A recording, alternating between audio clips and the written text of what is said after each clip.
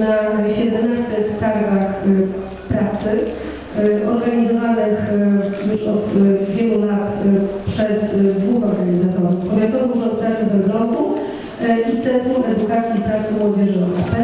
Y, W dzisiejszych targach wystawia swoje oferty 63 wystawców i dysponujemy, proszę Państwa, 60 650 ofertami pracy.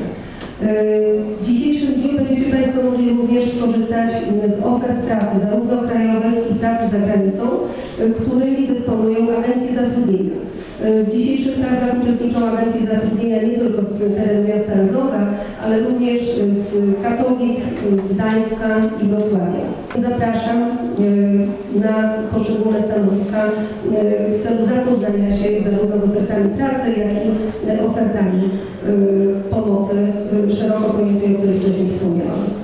Ja dziękuję. Teraz poproszę o zabranie głosu i uroczyste otwarcie targu pana prezydenta Witolda Lubelskiego.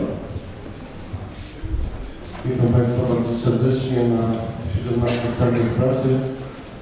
Jest to przedsięwzięcie, przedstawiła Pani Dyrektor, e, umożliwiające, i to jest chyba najważniejsze, bezpośredni kontakt z firmami, które oferują miejsca pracy e, z potencjalnymi pracow- pracownikami.